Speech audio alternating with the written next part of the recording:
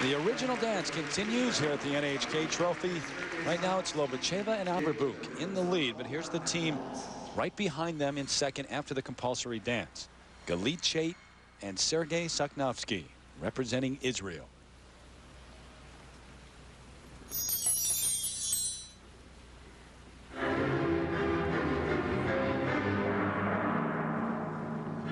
there's a good chance that we'll see them at the Grand Prix final in St. Petersburg. This is a non-scoring event for them. They cannot earn points.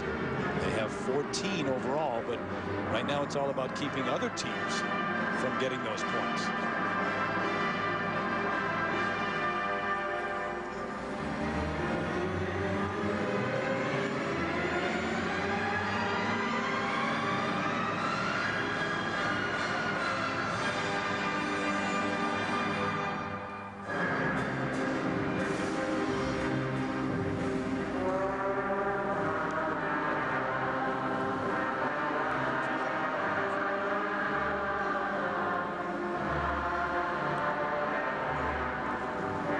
After the Nations Cup competition, they said they had a substantial amount of time to really train and improve. Not a lot of time between Skate America and Nations Cup, so they feel more prepared here.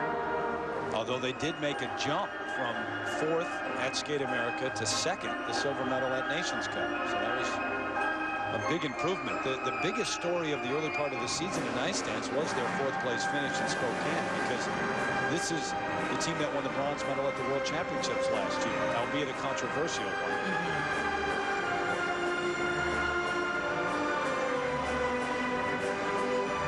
For speed, very nice in the circular footwork sequence. Look much more confident.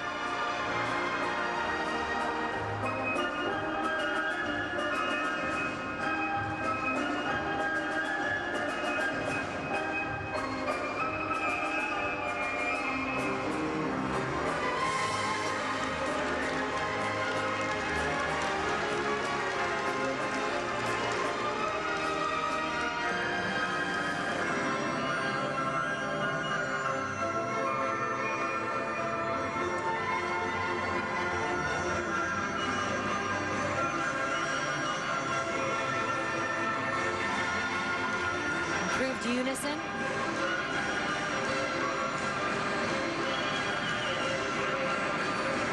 Difficulty toward the end of the footwork.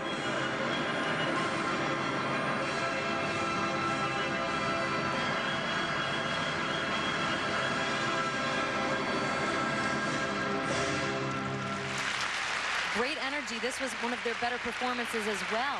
They looked relieved, too. Very close team.